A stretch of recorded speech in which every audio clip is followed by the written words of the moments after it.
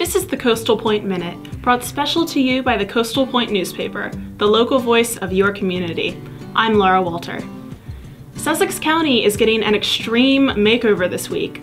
On Monday morning, reality TV show Extreme Makeover Home Edition set up in nearby Lewes, Delaware. The team has one week to completely build and furnish a brand new home for Reverend Dale Dunning, who just found out about the project and said she was overjoyed. The large scale project is unique in that it may also include a headquarters for her Just Soup ministry, which is a network of soup kitchens on Delmarva.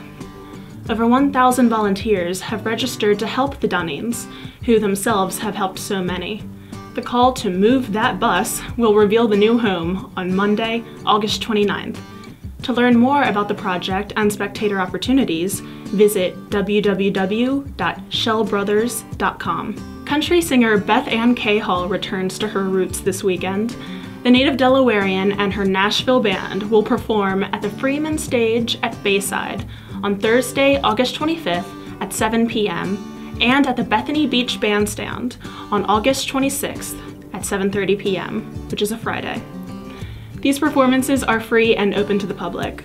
The State Fire Marshal's Office has determined the cause of a fire that destroyed half of the Catch 54 restaurant in West Fenwick Island.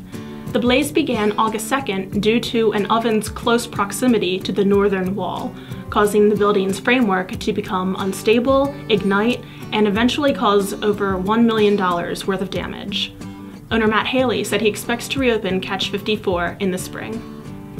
For more information on these events and local news, pick up the Coastal Point newspaper, available every Friday, or visit www.coastalpoint.com.